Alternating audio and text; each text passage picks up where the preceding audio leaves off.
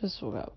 And My went back to dreams created their own bizarre GISHWHES list, and that is what I spent all night doing. One of our buddies Yay. tamed this giant plant monster with teeth and stuff, I don't remember it. my dreams, but they were strange. Wait, I do. Helen Keller was was in it at one point. and I was like were stuck. chatting, living the movie Alien. So that was kind of terrifying. This morning, I dreamed I was awake. I woke up And then my alarm went off. and it was very. My arms were making a shape like In I was a little teapot. I was trying to take an inflatable couch down a watery highway. I blame GISHWHES.